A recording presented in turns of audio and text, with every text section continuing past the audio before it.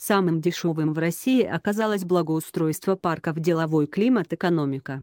14.50, 16 мая 2019 Самым дешевым в России оказалось благоустройство парков. Фото Евгения Новоженина, РИА Новости.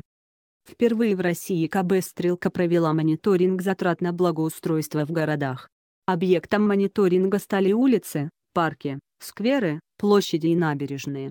Всего в выборку попало 25 общественных пространств в 21 городе, которые были благоустроены в рамках муниципальных программ по формированию комфортной городской среды, говорится в сообщении КБ «Стрелка».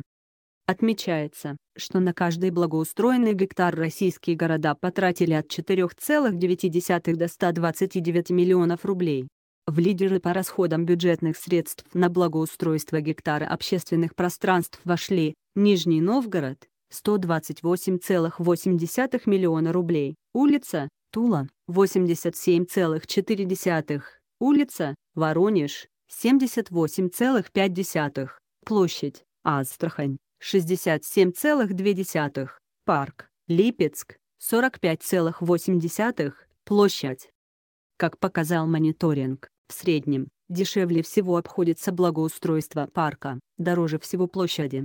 Если перед городом стоит задача сэкономить, стоит начать с благоустройства имеющегося парка.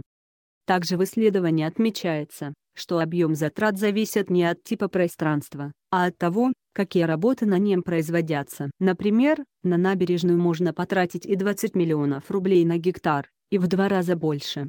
В частности, набережная озера Нижний Кабан обошлась Казани в 45,2 миллиона рублей на гектар, а набережная реки Сура в Пензе в 40,4 миллиона рублей на гектар.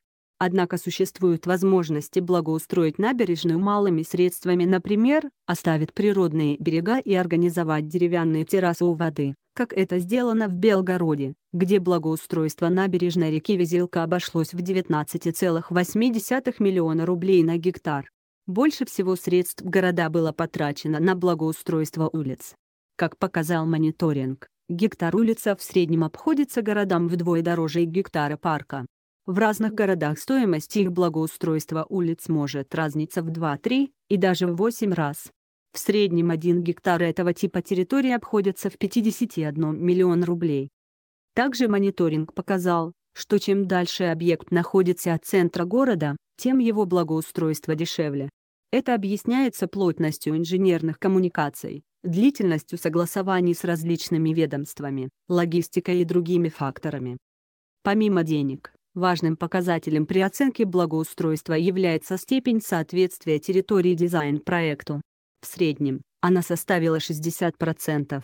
Точнее всего воплотить дизайн проекта удалось в парке Хусейна Бенталала в Грозном, 4,9 миллиона рублей на гектар, и на западной набережной реки Урал в Оренбурге, 31,4 миллиона рублей на гектар.